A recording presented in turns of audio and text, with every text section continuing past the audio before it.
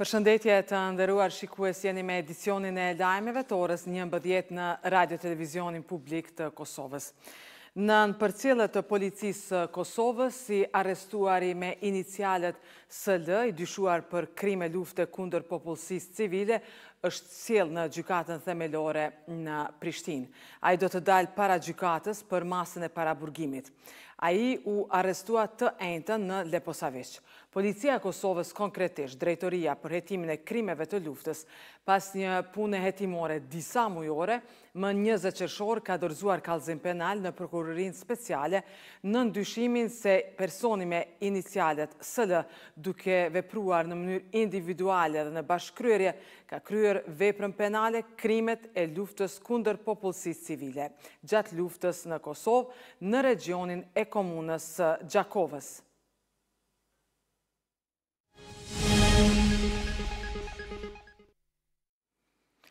Me ftesë të ministrit të Punëve të Jashtme të Kroacisë, Gordan Gërliç Radman, ministrja e Punëve të Jashtme dhe Diasporës, Donika Gërvalla, po qëndron për vizitë në Kroaci për të marrë pjesë në Forumin e Dubrovnikut. Gjatë këtij forumi, Gërvalla do të paraqesë qëndrimet e Kosovës rreth sfidave të paqes dhe stabilitetit në Evropë si dhe se si do të ndajë përvojën e Kosovës me proceset e integrimeve euroatlantike. Në margjina të Forumit të Dubrovnikut, ministrja Gërvalla do të ketë edhe takime dypalëshe me ministrat e jashtëm të vendeve pjesëmarrëse.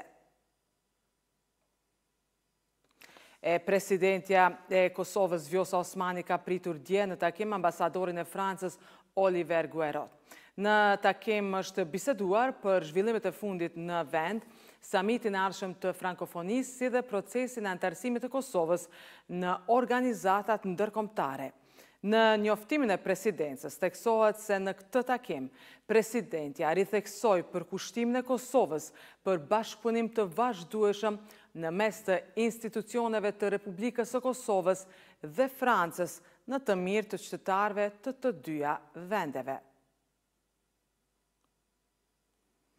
E nga një korriku fillon subvencionimi i policës kufitare për mërgatën.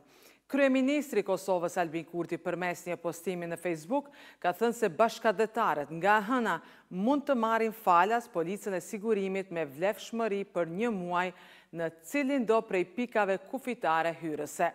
Polica e subvencionuar do të ketë vlefshmëri një muaj nga dita e lëshimit hyrjes në Kosovë dhe subvencionohet vetëm për automjetet jokomerciale për pasagjerë deri në nëntë ulëse.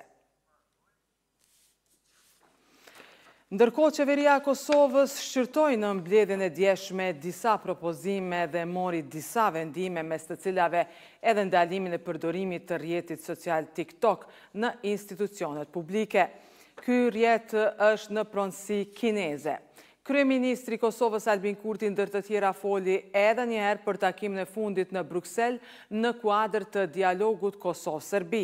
Ai tha se nuk ka mirëbesim nga Serbia, derisa kërkoi që marrëveshja bazë të nënshkruhet nga presidenti i Serbisë Aleksandër Vuçiq e pastaj të zbatohet.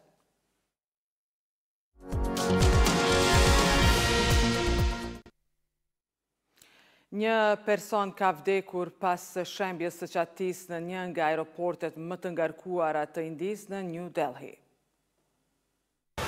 Çatia në aeroportin ndërkombëtar të Delhit është shembur pas një shiu të dendur duke vrarë një person dhe duke plagosur tetë të tjerë. Të gjitha fluturimet nga terminali janë pezulluar deri në një njoftim të dytë kanë thënë autoritetet e aeroportit. Rregullatori i Aviacionit të Indisë ka këshilluar linjat ajrore që të strehojnë pasagjerë në fluturime alternative ose t'u ofrojnë atyre rimbursim. Aksidenti ka ndikuar në planet e udhëtimit të mijëra njerëzve pasi shumica e fluturimeve të brendshme nisën nga terminali një.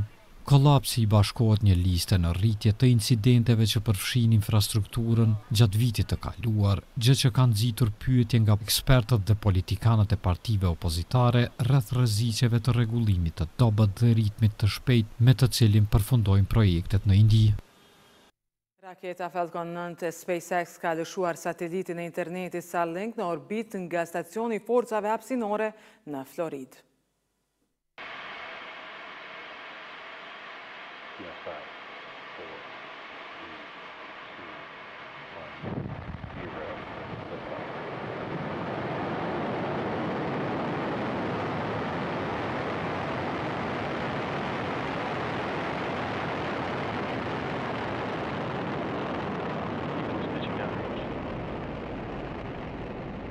LID chamber pressures are nominal.